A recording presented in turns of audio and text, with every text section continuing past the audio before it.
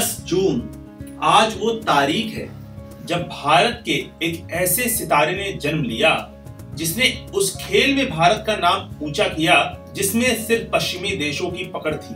जी हाँ हम बात कर रहे हैं प्रकाश पादुकोण की। प्रकाश पादुकोण का जन्म जून 1955 को बेंगलोर में एक सरकारी अधिकारी के घर में हुआ।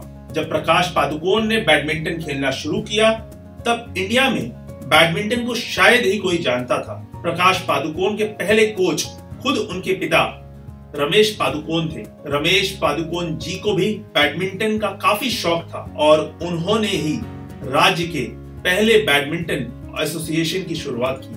सात साल की उम्र में प्रकाश पादुकोण ने शौकिया तौर पर बैडमिंटन खेलना शुरू किया और एक मैरिज हॉल में उनके पिताजी, उन्हें और उनके कुछ दोस्तों को बैडमिंटन खेलना सिखाते थे और आपको बता दें, प्रकाश पादुकोण की ज़िंदगी में एक बड़ा मोड़ तब आया जब 15 साल की उम्र में उन्होंने नेशनल जूनियर और सीनियर चैंपियनशिप जीत लिया। तब उन्हें लगा, अगर वो इस खेल को लेकर और थोड़ा सीरियस हो जाए और थोड़ा और एफर्ट लगाए तो इस खेल को प्रोफेशनली खेलकर वो नेशनली और इंटरनेशनली एक मार्क छोड़ सकते हैं। फिर आता है साल 1980 जहाँ प्रकाश पादुकोण के एक बैडमिंटन के स्ट्राइक ने इस खेल को भारत में देखने का नज़रिया ही बदल दिया। 1980 से पहले प्रकाश पादुकोण कई टाइटल्स जीत चुके थे, मगर जब 1980 में वर्ल्ड नंबर वन इंडोनेशियन खिलाड़ी लीम स्वी किंग को हराते हैं और विश्व में नंबर वन खिलाड़ी होने का तमगा भी छीन लेते हैं,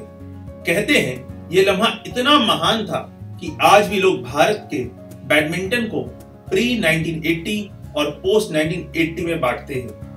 प्रकाश पादुकोण को 1972 में अर्जुन अवार्ड से नवाजा गया और फिर उन्नीस में पद्मश्री लगातार नौ साल तक नेशनल चैंपियन रहे। प्रकाश पादुकोण ने उन्नीस सौ इक्यानवे में बैडमिंटन से संन्यास ले लिया और उसके बाद उन्होंने खेल से नाता तो नहीं तोड़ा, क्योंकि उन्होंने एक कोचिंग इंस्टीट्यूट खोला, जिसका नाम है प्रकाश पादिकोण बैडमिंटन अकेडमी, और उसके बाद कुछ वक्त तक वो बैडमिंटन एसोसिएशन ऑफ़ इंडिया के चेयरमैन भी रहे। आपको बता दें, नामी बॉलीवुड एक्ट्रेस दीपिका पादुकोण उनकी ही बेटी है। छोटी बेटी अनिशा पादुकोण भी स्पोर्ट्स से जुड़ी है और गोल्फ खेलती है। अब हम आपको बताते हैं प्रकाश पादुकोण की पर्सनल लाइफ के बारे में। प्रकाश पादुकोण की अरेंज मैरिज हुई थी, और उनकी पत्नी उज्ज्वला पादुकोण, एक ट्रैवल एजेंट है। और मीडिया की लाइट से काफ़ी दूर रहती है। प्रकाश पादुकोण ने एक इंटरव्यू में कहा है कि उनके पिताजी कहते थे focus on things which are under your control this is all you have and yet you have to be the best तो आज इन खबर की टीम भारत का नाम रोशन करने वाले इस महान खिलाड़ी को सलाम करती है और जन्मदिन की हार्दिक शुभकामनाएँ देती है।